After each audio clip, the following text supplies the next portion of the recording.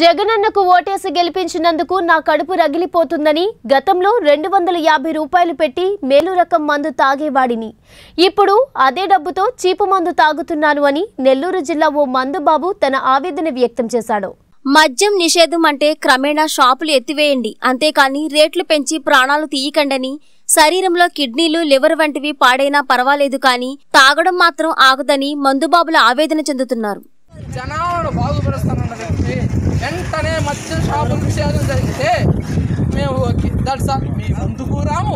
మీ డబ్బులు. ఈ రోజు తెట్టు. అంటే నేను ఒక్క రోజుకి వెయ్యి రూపాయలు సంపాదించే వ్యక్తి నేను. ఒక్క రోజుకి నా ఆదాయం వచ్చేసి. ఒక్క రోజుకి వచ్చేసి నా ఆదాయం వెయ్యి రూపాయలు. వెయ్యి రూపాయలు అయితే వెయ్యి రూపాయలు సంపాదిస్తా.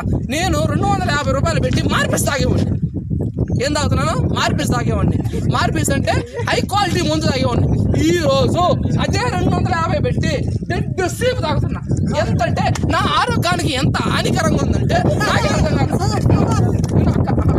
నా ఆరోగ్యానికి ఎంత హానికరంగా ఉందంటే ఈరోజు నా కిడ్నీలు బావచ్చు నా లివర్ బావచ్చు తర్వాత చిన్న గుండె బావచ్చు ఇలా ఈ గవర్నమెంట్కి ఈ ప్రభుత్వానికి ఈ జగన్మోహన్ రెడ్డి గారికి ఈ సీఎం గారికి నేనే చెప్తున్నా.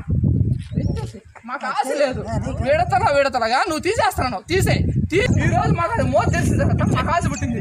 ముందు ఎత్తుకొని పోతే రెండు వందల యాభై రూపాయల కోటరు యాభై రూపాయల కోటరు రెండు వందల రూపాయలు చెప్పావు అదే గత ప్రభుత్వంలో రెండు వేల పద్నాలుగు నుంచి రెండు వేల పంతొమ్మిది దాకా హెచ్డీ కానీ తర్వాత చేంద్ర కోహినర్ కింగ్ కానీ యాభై రూపాయలు కమ్మారు నేను యాభై రూపాయలు కమ్మిన కోటరు ఈ రోజు మీరు రెండు వందలు చూపిరా మన కోటరు రెండు వందల రూపాయలు పెట్టి మేము కొన్నాం. రెండు వందల రూపాయలు పెట్టుకున్నాం. ఇదేమి ఇచ్చాడు మన